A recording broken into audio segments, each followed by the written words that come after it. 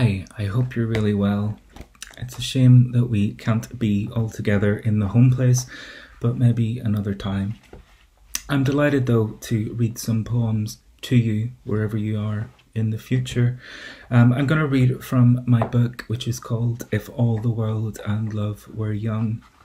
Before I do, I should say a little bit about it. Um, some years ago, I thought, as something of a joke, I guess, that there would be something amusing about writing lots of poems about Super Mario World specifically, uh, something that I am very familiar with and spent a lot of time with as a child. Um, I understand not everybody is as familiar with it as I am, so just to say, Super Mario is a video game character. His lot in life is to move typically left to right uh, through all kinds of fantastic um, uncanny, otherworldly landscapes, um, and you know enjoy himself, beset uh, by all kinds of obstacles. Uh, so I thought it would be kind of amusing to uh, to write about these, to write about these places as if they were real landscapes. Um, and when I found myself doing that, I found myself thinking about my childhood and where I grew up in the in the countryside in rural County Down. And as I started putting all these things together, these differing uh, landscapes, these similar landscapes in some ways, uh, I found myself thinking about my childhood and eventually found myself uh, thinking about my mother who, uh, who died some years ago. So, in a very roundabout way, my joke, um, as I saw it about Super Mario World, uh, became the, the way that I ended up writing about her death. Um, so there is this very much this sense of, of, of these two worlds happening um, throughout the world of the video game, uh, the real world, um, and a, a, speaker who kind of moves between these two places, uh, who is sometimes me, who is sometimes Mario, and sometimes both of us. Um, so it starts with a little note. Um, I'm going to read that note, and then I'm going to read um, a, a handful of poems, largely from the start of this book. So, in the summer of 1998, when I was nine, my mother took a photograph of me playing Super Mario World in the small spare room in our house. My back is to the camera. The television was positioned so it faced out from the corner of the room where the wall met the patio door. To my left, I could see the garden along which a little river ran, and over the fields a dense forest. To my right, there was the huge block of the television, which was already 15 or 16 years old. My eyes drifted between these two positions. Because of the flash of the camera and the glare of the television screen, it's impossible to tell which of the following levels I'm playing. The Super Nintendo is a 16 bit console. Put simply, 16 bit refers to how much memory the system can process at one time.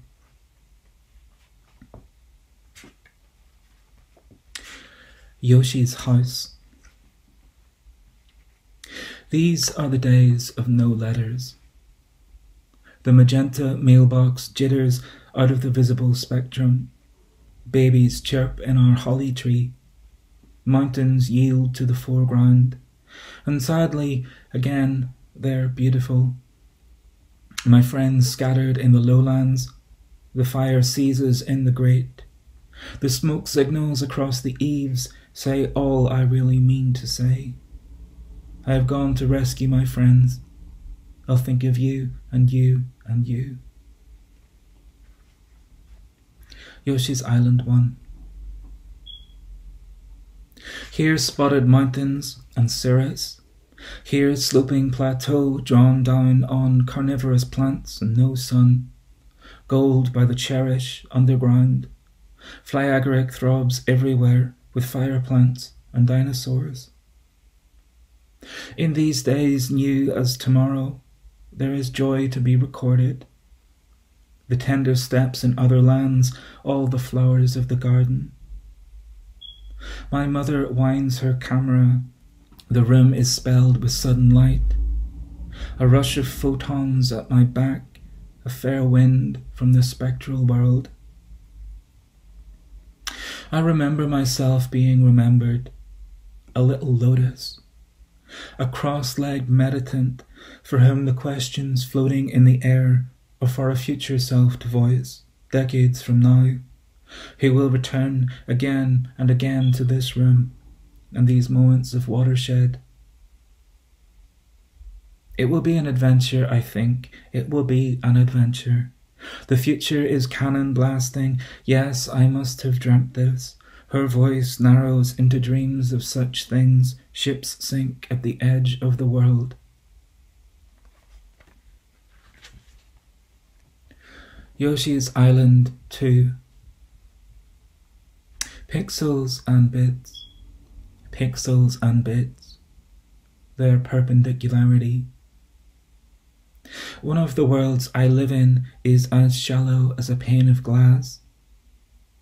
The threshold of the window sets a frame around the holly tree. Wild funguses, slimy with dew and toxicity. The rubies of holly berries sing on the branches the robins hide among, and the veins of ivy vines wind around the slumping trunk and boughs, sloe berries in the blackthorn, and the carcinogenic bracken. Groundsels loiter along the low dashed wall with daisies loll about. One summer's day, I am summoned home to hear of cells which split and glitch. So haphazardly, someone is called to intervene with poisons drawn from strange and peregrine trees flourishing in distant kingdoms. We take the air in the garden, bitter with berries and mushrooms too toxic to eat, where the grass bows in an unexpected breeze. Yoshi's Island 3 Today I climbed the Windy Mount, the highest peak in this region. My singular wish was to see what its elevation offered. With one companion, my brother, who is no better or worse than anyone else. I saw blankets of mushroom fields reducible to patchworks, what the bird's eye view must see of farms in Genoa. I went so far up the broken path, I supposed I should almost see the curve of the planet, or the whim on which the waves begin. But for the first time in some time, I thought of our father at home the sirocco in from the south, turtle doves in the huge wheat fields. Yoshi's Island 4 Salt water everywhere. Low tides undulate a flotsam of mines. The archipelago a swim with joyful blue white pufferfish. And in a neighbouring province, Cigarro prowl, a feline prowl. The ankle deep children's pool on the peninsula buoyed us up, aboard a heavy pedalo, the likeness of a giant swan, almost unmaneuverable about the tropical island, silly with plastic palms and shale, from whose hollow we called to land, to our mother on the seafront between the sun-struck artificial pool and the coastal waters, who beckons us back to harbour. Since it's August, she begins the idle effacement of dying. The many prickles of needles of many exotic compounds, hormones and corticosteroids, the stiffening of the larynx, mouth, the dry of the walk alone into the desert, finding there those cactuses, their open arms, and their long, curious shadows. Iggy's castle. My dreams reply the garden has become an ocean of lava, a precinct of spewing tephra, the rock like black honey folding over again impossibly, and yet on a shaky island, someone stands surrounded by fire who says to go on without me. So there is a sound in the house when I wake, mice under the moon. My mother, who cannot sleep, halves a bright grapefruit, whose feet, whose toes, whose hands whose fingers, whose ankles, whose head, she says, are on fire.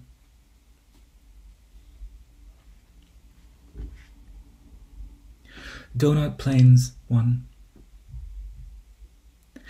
The land of flight, feathers, no birds. Backstop Chuck chucks his knuckleballs. The shrubs are off the Scoville scale. The little house on the border keeps a mantelpiece, abrim with dust, delftware, porcelain knickknacks, sixteen ceramic cows, rowboats in the lake, in grey photographs. The lie of the land is the shape of the north of Ireland, likewise missing a lump from its body, where the lake fills with eels zigzagged from the sargasso like needles of glass, light slowed through sodium. The little house on the east shore of the lake has something in it. The chimney trickles smoke, the hearth interprets chords of sycamore. This is not our house, but its walls are flowered with our images. Us as babies, pink and sleeping, and as children formally posed. In green and red fleeces, zipped up to the chin in any weather. In the questionable fashions of the early 1990s. In the sepia warmed wedding pictures long before we were born. In our relatives' glowing eyes, whose faces are written in light. Donut Ghost House. What is there to be afraid of? Whatever moves in the rafters, a sparrow's nest in the chimney stuck with hay and pigeon feathers. A knock, knock, knock on the slate roof is hello, yourself long ago, and hello. An after image after all, one image pressed to and escaping through another.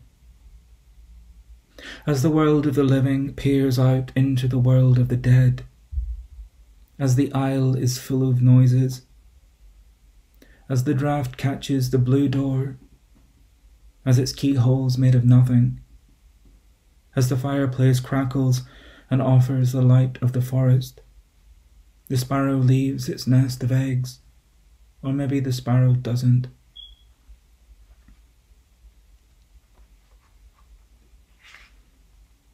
Donut Secret 2 it is winter in the Ulster Hospital, and winter outdoors, and winter in our hemisphere. The tilt of the planet says so. Since she has lost her sense of taste, we have dinner in McDonald's. If I'm going to die, she says, might as well go to McDonald's. The kitchen bleeps and chirps and blips, the cryptolect of ICUs whose automatic song desires no singer's articulation. Her hair is thin under the light, and surgery will be discussed tonight while fleets of gritters salt all the main arterial routes. The country roads we travel home by purple and glisten with frost. Under the constellations and the Sagittarian moon.